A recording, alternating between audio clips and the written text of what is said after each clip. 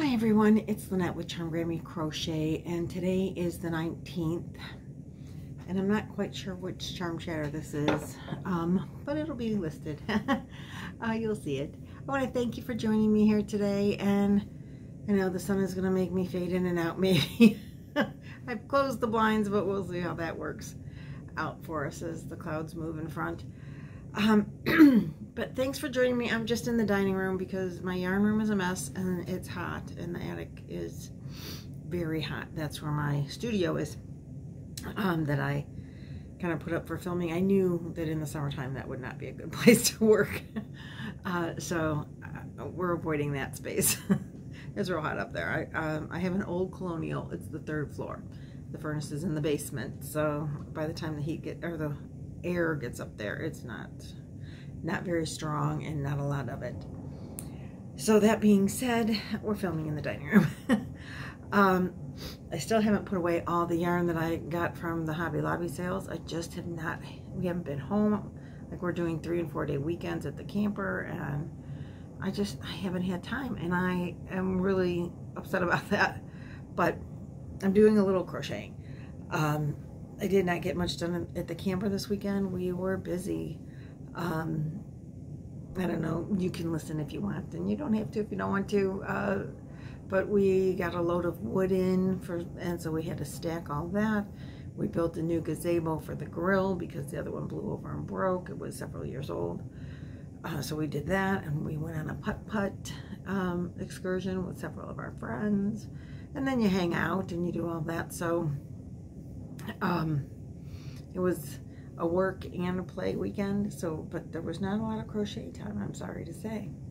But I did work on my Hugs Are Free shawl, and this is my second Caron cake. Uh, it is the Amethyst Sky color.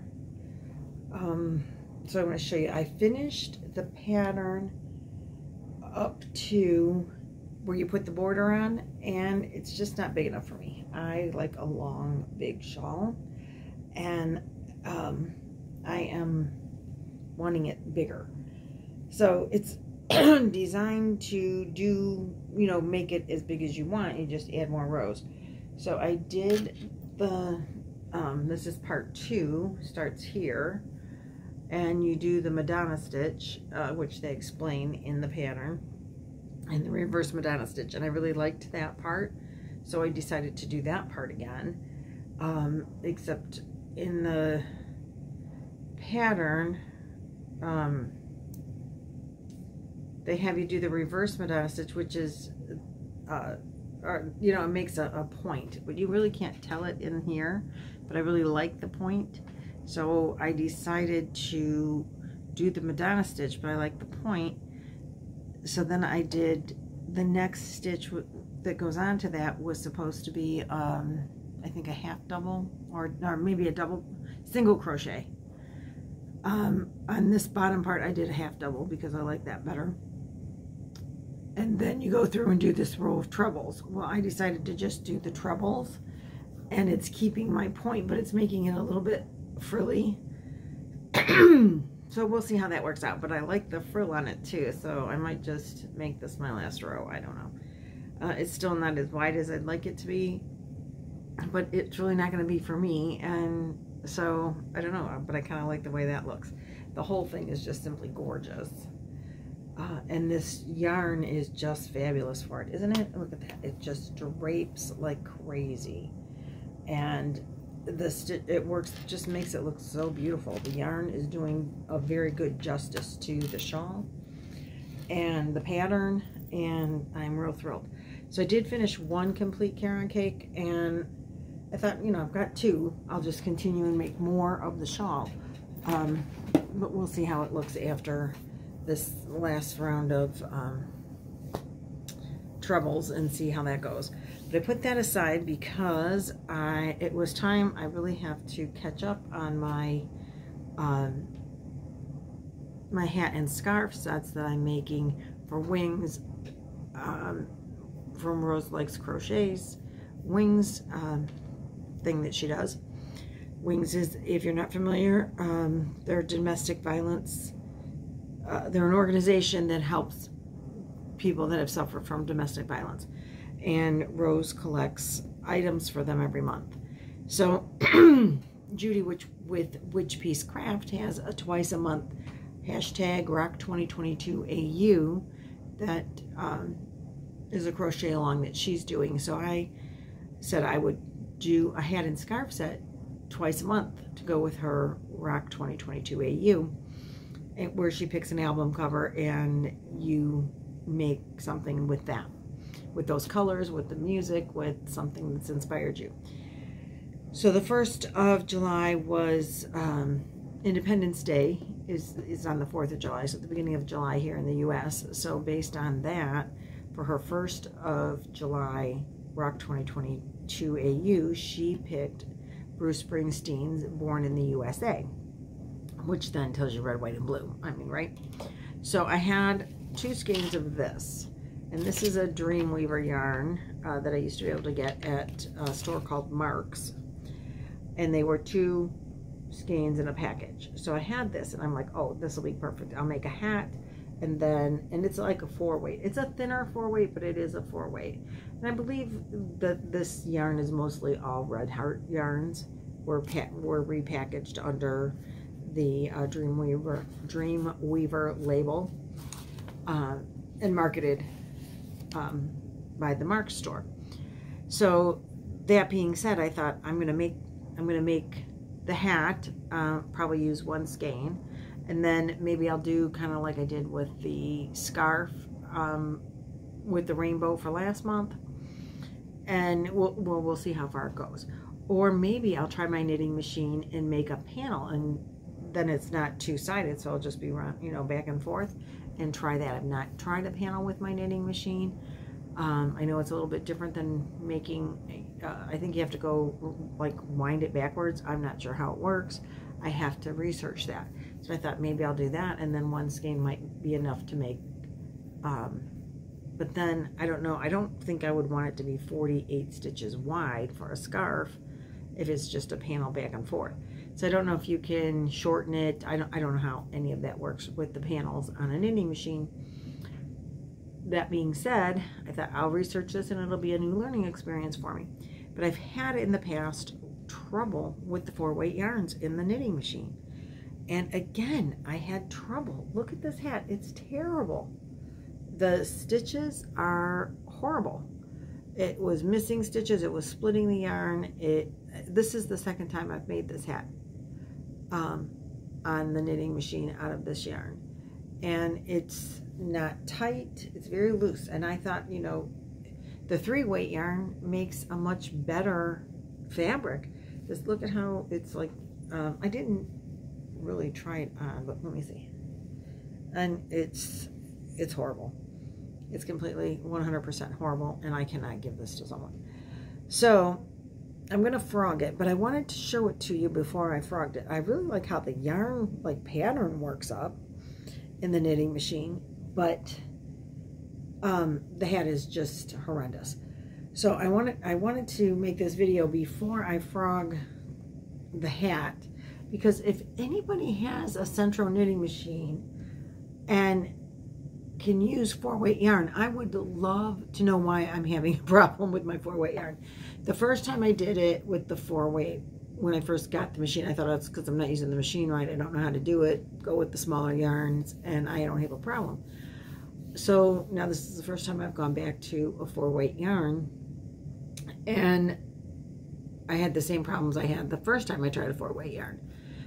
And then the thing is just like loosey-goosey and uh, it just looks horrible if you ask me.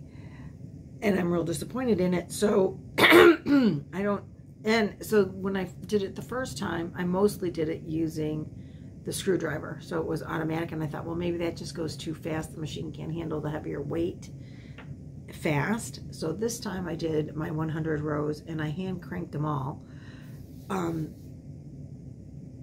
and it still looks like, ugh, so I'm going to frog it, but like I said, before I frog it, I wanted to show you and ask for help. If you guys have any idea why I'm having trouble with this, um, I would greatly appreciate knowing.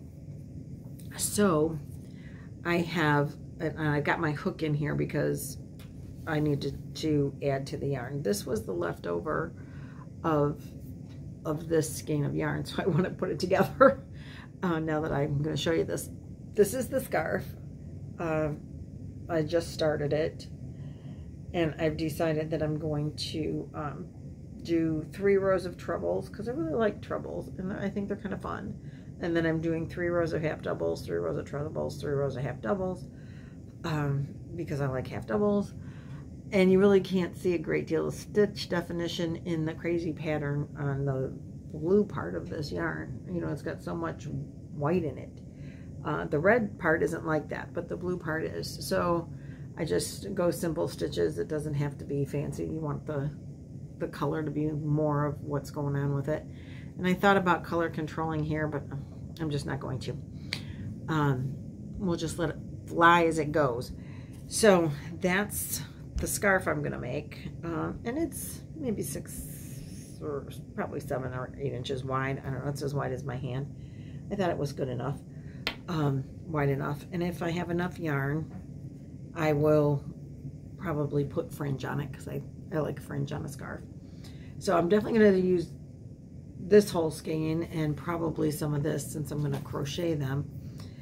So I brought down um, this red. I love this yarn in the sport. I do have a blue one as well. I have two in the red and um, I do have a blue one. So, excuse me, this is a sport weight, so I know I can put this in the knitting machine and knit up a hat. Um, probably use the whole skein and that'll and that'll be fine. Uh, so I can knit up the beanie part with this and excuse me, I got such a frog in my throat. Um, maybe put fringe and maybe put a pom-pom. Use some of this yarn and put a pom-pom on the hat so that'll make them look more together. That's I'll do that before I put fringe. Um, you know, a handmade pom-pom to go on the hat. That's a cute idea. So uh, that's going to be the beginning of the month, uh, born in the USA. Then for the 15th of the month, this is why I have to get moving on these, particularly if I have to crochet the scarf.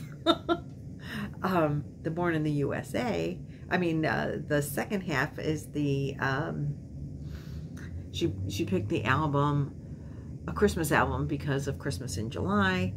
Uh, she picked a Christmas album, and it's uh, Elvis Presley's Chris, one of Elvis Presley's Christmas albums. I think he has two. She said, and in I I I have some really gorgeous green and red yarn, um, and I have a pack that I got from Herrschner's last year. That's the blues, uh, like a teal blue, white. There's a red it must have been three colors, teal, blue, white, and red. Um, also a four weight yarn. I'm like, dang it. Because I, I love Elvis Presley's, uh, it'll be a blue Christmas without you. I don't know what the actual title is, but it'll be a blue, blue Christmas, blah, blah, blah. So, whatever, all the, that yarn is, um, four weight. So I, and I have a real pretty one that's, you know, the variegated red and green and white and one with gold in it. And I'm like, oh, that would be so nice. I don't know that I really wanted to make a Christmas themed hat and scarf set. So I thought, well, I could go with the Blue Christmas. That's what it's called. Um, so I had this yarn that's um, blue, blue and white and this is uh, Premier's Fable, and it's a three weight, and so I have the three skeins of it. I know I can make a hat and scarf on my knitting machine out of this, so that's going to be what I'm using for the end of the month one that I haven't started yet, obviously. Um, so that's all I have to really show you. I haven't, I don't have anything else. I spent most of the crochet time on my, over the weekend on my shawl. And then today when I got home from work, I, I knitted up this terrible hat and then decided on my scarf and three weight yarn. So that's what I got. But I would really appreciate any tips on how to use a four weight yarn in the Sentro knitting machine. If anybody knows, please let me know. Um, And I want to thank you all for watching, uh, liking, sharing, hitting that button so you know when I put out another video. And I thank you all for being a part of my Yarny family. Uh, and I will see you guys in the next video. Bye.